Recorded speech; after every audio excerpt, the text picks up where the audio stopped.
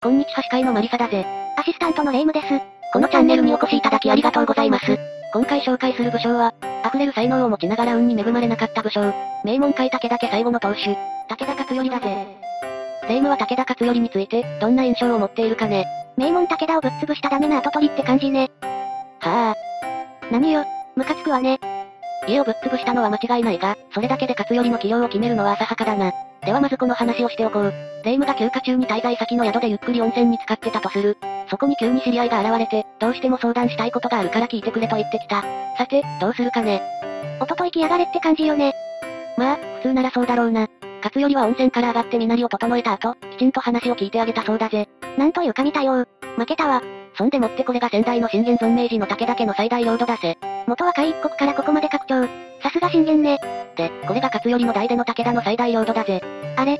こっちのが広い。そうなのだぜ。武田は信玄の代ではなく、勝頼の代で最盛期を迎えるのだぜ。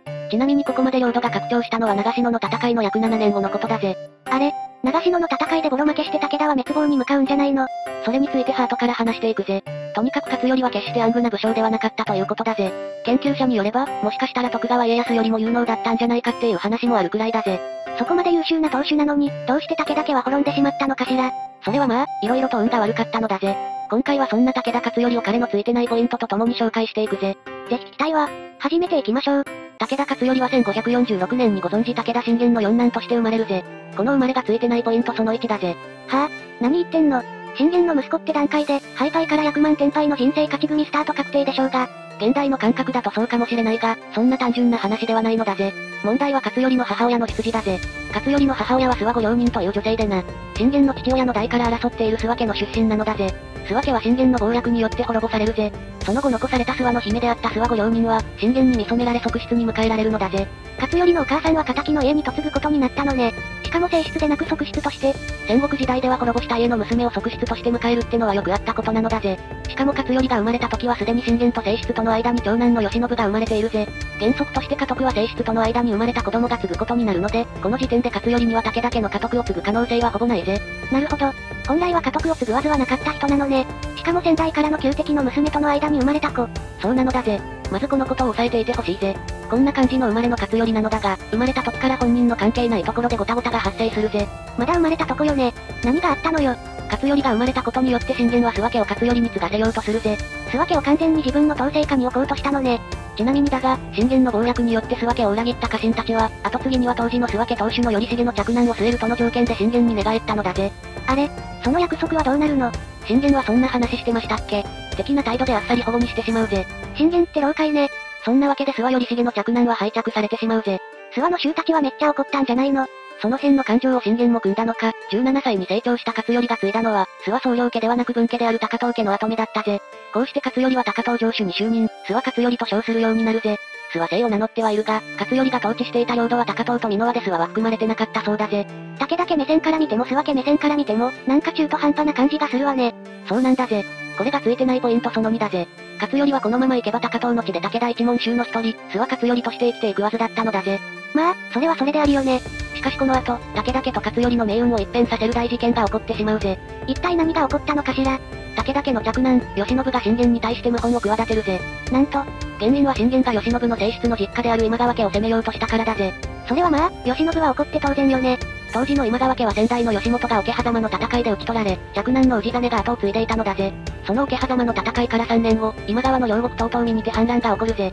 氏真はこの反乱を約2年かけてなんとか鎮圧するが、鎮圧にもたつく氏真に対して信玄は自分の同盟者として大いに不満を持ったらしいぜ。この人は本当にいまいちな跡取りだったのね。この頃から信玄は今川ではなく織田家との関係を重視するようになっていくぜ。慶喜にとっては奥さんの実家の仇に当たる織田家と仲良くすることに対して慶喜は不満を募らせていくぜ。そして信玄は織田家と同盟することを決意するぜ。これを知った慶喜は同盟を阻止すべく信玄の暗殺を企てるぜ。しかし暗殺計画は事前に信玄にあっさりと露見、クーデターは失敗に終わるぜ。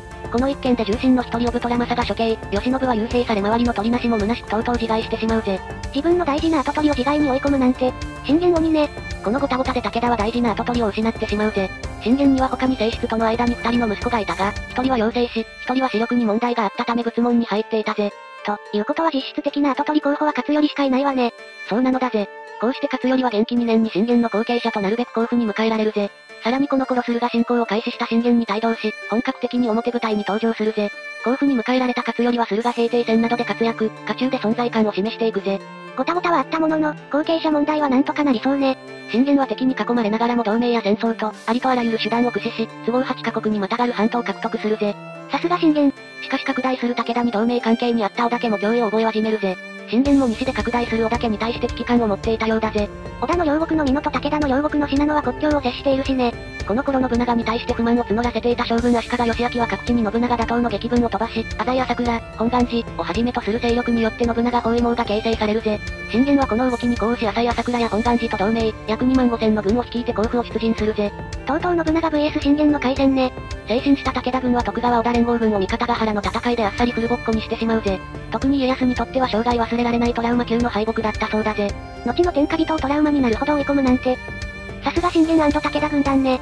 が、ここまで順調に進軍していた武田軍は突如として動きを止めてしまうぜ。なぜにもともと体調不良を押して出陣していた信玄の容体が悪化してしまったのだぜ。自らの死期を悟った信玄は勝頼をはじめ家中の者に遺言を残すぜ。その内容の中に自分の死は3年間伏せろというものがあるぜ。なるほど、自分というカリスマがいなくなったら他国に舐められるからね。残念ポイントその3はこの遺言だぜ。はぁ、あ、何言ってんのこれは信玄の親心じゃないのいや、対外的にはいいかもしれないが、武田という組織にとってはどうかと思うぜ。だって、うちの勝よりまだいまいち頼りねえから、俺が生きて政務取ってることにしとけ。とも取れるだろ。あ、なるほど。他にも信玄は、勝頼の息子の信勝が元服したら家督を譲る。勝頼はその間の人代とする。と言い残しているぜ。人代ってのは何なのよ。当主が幼い場合、軍務や政務を代行する存在のことだぜ。あれ？じゃあ勝頼の存在って、家臣たちからは、信勝が元服するまでの中継ぎと思われていたんだろうな。これは家中の統制が大変そうね。信玄は何だってこんな遺言残したのかしら。それについては残念ポイントその4と合わせて話していくぜ。信玄の親心もあったんだろうが、武田家は名門意識の強い家でな。不代の家臣や一門衆の中にはすでに諏訪家を継いでいた勝頼が武田本家を継ぐことを良しとしない勢力があったのだぜ。さらにずっと高遠にいたから、甲府にいる不代の家臣たちとはあまり親しくなる機会が少なかったことも影響していると思うぜ。ちょっと話がそれたが、残念ポイントその4はすでに諏訪家を継いでしまっていたことだな。現代で例えると、どっかの支店長が急に本社の社長になるような感じかしら。近いかもな。本社の社員からしたら、なんじゃそりゃ。って感じだろうからな。信玄としてはそんな状況から少しでも勝頼を楽にしてやりたいと考えた上での信勝への家督異常だったようなのだが、結果としては勝頼の求心力が微妙な感じになってしまうぜ。どうして素直に勝頼あとはお前に全部任せたぞ。って言わなかったのかしらそれはもう今となっては信玄しかわからないぜ。この遺言は個人的には名称信玄最大の失敗と私は思っているぜ。とはいえ勝頼は律儀に信玄の遺言を守り、3年間父信玄の死を伏せつつ内政に専念するぜ。しかし、武田の動向を注視していた信長、家康、謙信には半年も経たずにバレてしまうぜ。あれま？特に信長は信玄の死を確信した時、心底喜んだそうだぜ。これで武田は弱体化するだろうってな。勝頼は完全に舐められてるわね。しかし後に信長はこの認識を改める羽目になるぜ。信玄の死を隠しつつ新当主に就任した勝頼だったが、権力基盤は不安定だったぜ。有名な事例としては、重臣内藤正秀に当てた気象門があるぜ。どんな内容だったの？その内容は、勝頼に対して奉公するとのことなので、丁寧に扱うことを約束する。絶対雑に扱わない。国や勝頼のことを思って意見してくれるのであればちゃんと聞く。それで処罰したりしない。ちょっと勝頼と仲悪い人でもこれから仲良くやっていこうとしてるなら無視したりしない。って感じだな。この内容から察するに、当主就任前から勝頼と仲悪いグループがいたってことね。ちなみに内藤のほか、山形正景や馬場信房なんかともうまくいってなかったみたいだぜ。武田四天王の4分の3じゃないの内政に専念してたのもあったんだろうが、この信玄以来の重臣たちとの関係の改善と構築に時間を取られたのもあったのかもな。武田家はこの時期ほぼ軍事行動を停止しているぜ。一方信長と家康はこれを好機と見るや行動を起こすぜ。まず家康は駿府を攻撃、続いて東東に攻め込んでくるぜ。家康は東東見と三河の国境にある長篠城を攻略するぜ。信長は武田が手を出してこれないと見るや、機内の安定を図るため、将軍足利義昭を追放し、室町幕府を滅亡させるぜ。さらに浅井朝倉も立て続けに滅亡に追い込み、信長包囲網は崩壊するぜ。ここまでは異様にやられてるわね。そうだな。ここまではな。この織田徳川の攻勢に対して受け身に回っていた勝頼だがとうとう動き出すぜ。勝頼は岩村城を拠点に東美濃へ出陣するぜ。わずか一月で18もの城を攻略してしまうぜ。怒涛の快進撃ね。しかも勝頼が陥落させた書状は信濃から岐阜への関門にあたる上、三河にも通じている絶好の地域だったのだぜ。これは信長と家康は焦ったでしょうね。さらに勝頼は東東にも侵攻、父信玄が落とせなかった県城高天神城を陥落させるぜ。この一連の武田軍の攻勢で、勝頼のことを舐めていた信長は考えを改めさせられるぜ。この頃は仲の良かった上杉謙信に当てて、信長はこんな内容の書状を送っているぜ。勝頼は若いながら信玄の掟を守り表裏を心得た油断ならない敵です。あなたが機内の守りをほっといてでも対処しなければ、武田の精鋭は防げないというのはもっともだと思います。と述べているぜ。勝頼って謙信からも信長からも高い評価を受けてたのね。この武田の東見の侵攻を受けて、信長は勝頼を信玄と同等の脅威として認識するぜ。信長にとってはこの頃の武田は何としても滅ぼさなくてはならない勢力となったぜ。一連の東見の諸城攻略で生き上がる勝頼と武田軍はさらなる軍事行動を展開、今度は三河へ向けて進行するぜ。勝頼の狙いは家康の本拠、岡崎城だぜ。勝頼は岡崎城に対して跳躍を仕掛けるが失敗、東三河へと転身するぜ。岡崎城は落とせなかったが、東三河の野田城、大野田城、吉田城を攻略するぜ。さらに二連騎城を陥落させるが、この間駆けつけてきた家康本体に吉田城を奪還されるぜ。家康は取り逃がしてしまったわけね。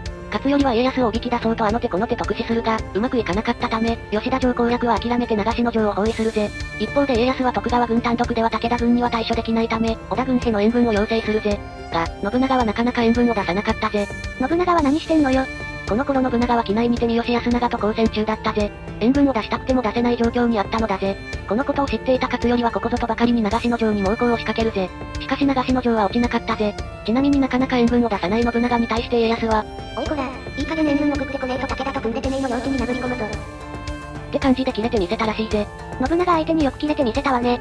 実は家康ってまあまあ切れやすいんだぜ。泣くまで待とうとは程遠いぜ。話を戻すぜ。勝頼が長篠城攻略に手こずっている間に信長は三好軍を撃破するぜ。これで信長は援軍を派遣できる体制が整ったわね。打ち切れた家康をなだめるためかはわからないが、信長は大急ぎで岐阜から出陣、三河岡崎にて家康と合流は果たすぜ。こうして織田徳川連合軍総勢約3万は設楽原に布陣、長篠城を包囲する武田軍の様子を伺うぜ。とうとう始まるのね。武田勝頼と織田徳川連合軍による決戦、長篠の戦いの開幕だぜ。でもこの戦いって武田軍が一方的に鉄砲でボコられて終わったんでしょさあそれはどうかな。これは長篠の戦いの様子を描いた合戦図屏風だぜ。やっぱり鉄砲でボコられてるじゃないの。ちょっとわかりにくいがそう描かれているな。が、この屏風の死体が最近発見されてな。そこにはこの屏風とは違う合戦の様子が描かれているぜ。一体何が描かれていたの？その死体に書かれていたのは、策に手をかけ、あるいは押し倒し、織田徳川連合軍を追い詰めていく武田軍の姿なのだぜ。なんですと？ここだけ話してもわからないので順を追って話していくぜ。織田徳川連合軍の接近を知った勝頼は重臣たちと対応を協議するぜ。軍議では決戦を主張する勝頼側近派と決戦を回避し撤退を主張する不大重臣派とで意見が分かれてしまうぜ。勝頼は決戦志向を持っていたため側近派の意見を採用、織田徳川連合軍が待ち受ける設楽原へ向かうぜ。一方の織田徳川連合軍は、馬防策を構え、三千丁とも言われる鉄砲衆とこれを援護する弓衆を柵の中に配備、武田軍を待ち構えるぜ。この辺までの展開は有名よね。信長は徳川軍に別動隊を編成させ長篠城を包囲する付城軍を攻撃、これらの奪取に成功するぜ。やばいわね。後ろを塞がれてしまった形になるわね。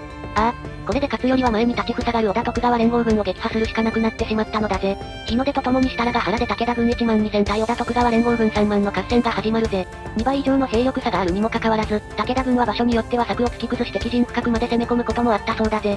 織田徳川連合軍が一方的にボコったわけじゃなかったのね。信玄が作り上げた戦国最強武田軍団を舐めるんじゃないぜ。この時代の軍隊の中では武田軍の強さは突出していたのだぜ。これは幕末の英雄、勝海舟が当時の西洋の最新の兵学書を読んだ時の言葉だぜ。なんだこりゃ、武田のと一緒じゃねえか。つまり武田軍の兵法は幕末の世でも通用する代物だったということね。そういうことだぜ。とはいえいくら盛況な武田軍でも織田徳川連合軍の圧倒的物量の前に徐々に兵力を削られていくぜ。開戦から約6時間経過した時点でとうとう勝頼は退却を決断するぜ。武田軍が退却を始めると、ここぞとばかりに織田徳川連合軍は激しい追撃を仕掛けるぜ。武田軍の諸将は勝頼を逃がすため敵を引き受け戦死していくぜ。特に武田四天王の一人、馬場信房のしんがり戦ぶりは鬼美濃の異名にふさわしい凄まじさで織田徳川連合軍を震え上がらせたそうだぜ。この合戦で武田方は兵一万と共に、山形正景、内藤正秀、馬場信房らをはじめ多くの重臣を失うぜ。量的にも質的にも大損害を被った形だな。特に勝頼と共に時代の武田を担うはずだった真田の仏名正輝兄弟、春日虎津なら若手重臣層も失ってしまったのは大きな痛手だぜ。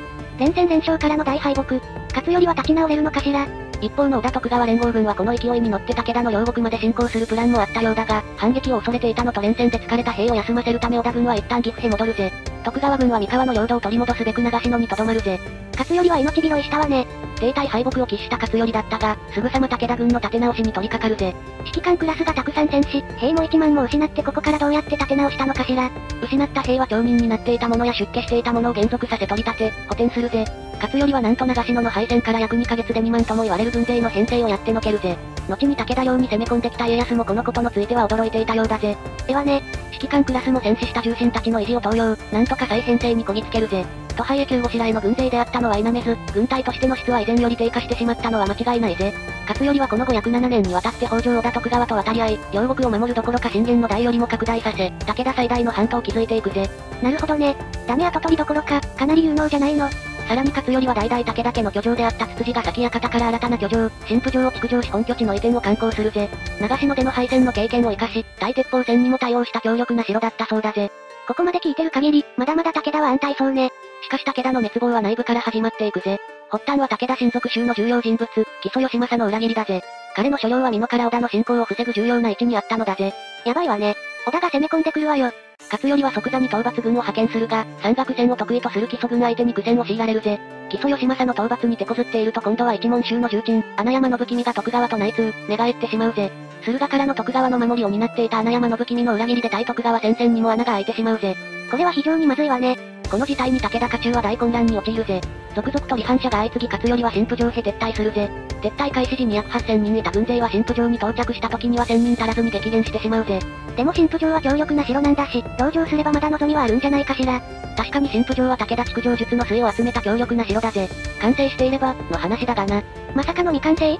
ああ、居住スペースは完成していたらしいが城を守るための城門、兵舎、櫓、堀なんかの防御施設は未完成だったようだぜ。こんな状態でまともに籠城戦なんてできるわけないぜ。追い詰められた勝頼は新府城にて軍議を開くぜ。これが勝頼にとって最後の軍議になってしまうぜ。勝頼の着難の部活は、もうこうなったら新府城を枕に潔く戦って討ち死にしようと主張するぜ。自称真田正幸は、上のへ逃げましょう。岩櫃城なら十分に籠城に耐えられます。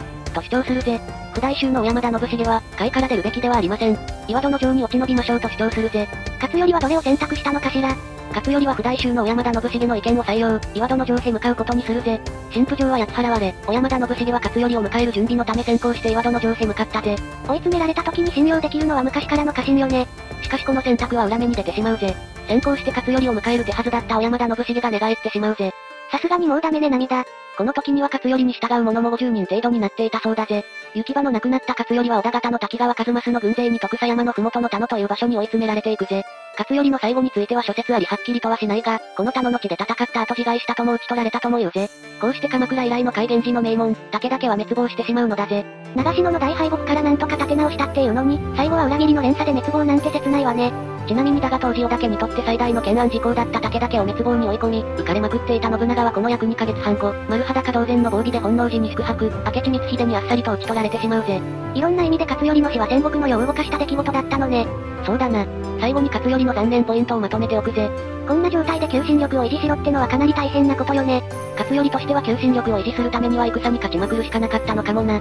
長篠の戦いの前までは勝ちまくってたのにね。もし勝頼が高遠ではなく甲府の地で信玄のそばで不大の家臣たちと関係を構築しながら育っていたらと思うと残念でならないぜ。まあ未来が変わってたかまでは私にはわからないけどな。そう考えると本当に切ないわね。さて皆さん、今回の武将はいかがだったでしょうかこの動画が面白いと思った方は、チャンネル登録、高評価、よろしくお願いします。次回は元祖戦国大名を紹介したいと思います。それでは皆さん、またね。